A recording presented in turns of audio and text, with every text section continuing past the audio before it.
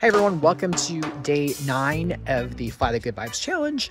It is rainy and cold and windy here in Wisconsin, so I'm to try to make this one a quick one. Though the person we're to uplift today is pretty freaking awesome and deserves a lot more than a two minute video. Today we're to uplift someone and I'm to give you three chances to guess who they are before I tell you who they are. So this person won the 2018 Miss Cleveland pageant and her talent was playing an electric violin powered by a Tesla coil.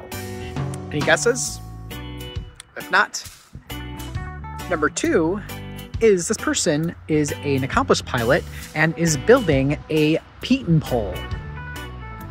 Any guesses?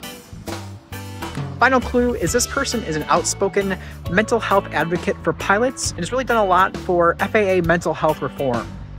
It's probably the biggest clue. Any guesses? Well, if you haven't guessed who it is, it's no other than Xyla Foxlin. And I have to say, she is quite a rock star. If you haven't seen any of her videos, I highly suggest that you check them out. She does a lot more than just aviation related videos. She builds model rockets, she built a teardrop camper. She also made a ballroom gown made out of Kevlar, and she also built a canoe made out of wood, which I think was really helpful for her project on doing the Pietenpol and uh, she's just super cool. I think that if there was a, a Mythbusters uh, remake, I think she'd be a perfect person for it. Any of you old heads, did you used to have the biggest crush on Kari Byron? I know I did. Oh wait, where was I again? Oh yeah, Xyla Foxlin. So I highly suggest you check out Xyla Foxlin.